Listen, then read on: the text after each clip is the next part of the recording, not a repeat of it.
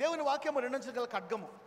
అందులోంచి ఆశీర్వాదము వస్తుంది అందులోంచి మనకి వార్నింగ్ వస్తుంది ఆదరణ కూడా వస్తుంది. దేవుని వాక్యాన్ని దేంతో వాడాలో తెలుసా?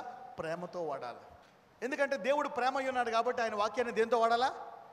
అందరూ చెప్పండి ఈ రోజు నుంచి నేను దేవుని వాక్యాన్ని ప్రేమతో వాడతాను.